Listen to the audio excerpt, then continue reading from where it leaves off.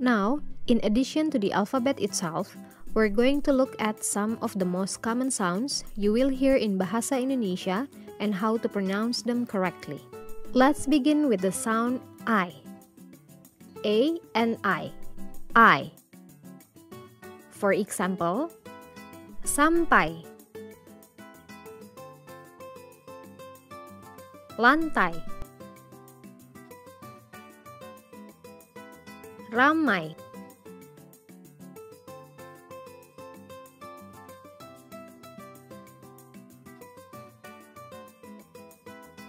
We have two different uses of the sounds which use the letter E. In Bahasa Indonesia, we have A or E. Firstly, let's look at the E that is pronounced E, E as in enak, belok, bebas.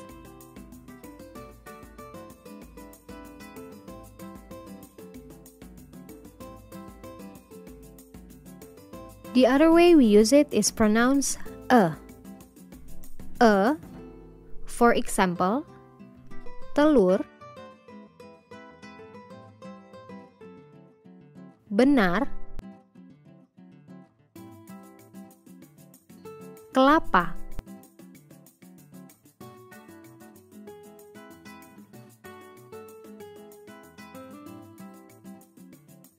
Another sound that is used frequently is AA. A and A. AA.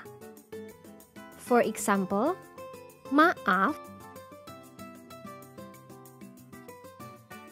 saat,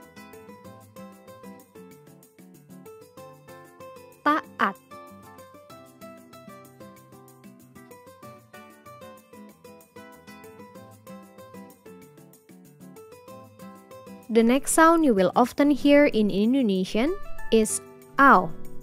A and U, ow. Here are some examples. Walau atau danau.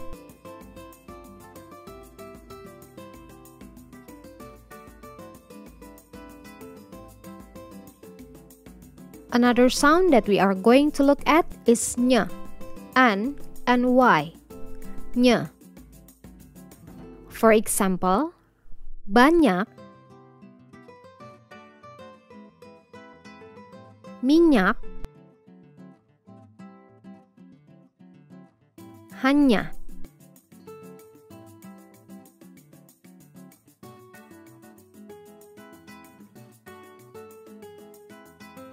The next sound we are going to look at is ang, n and g, ang.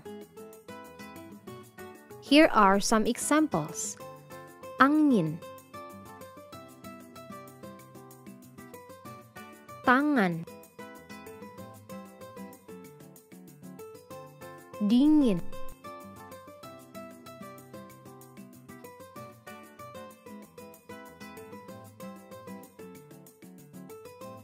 The last sound we are going to look at is eng, n, g, and g, eng.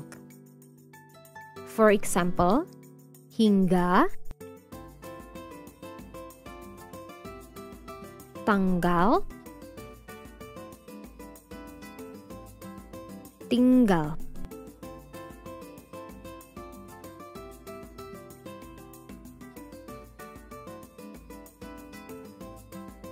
That gives you a good selection of the sounds that you can often expect to hear when you are speaking to native speakers of Bahasa Indonesia.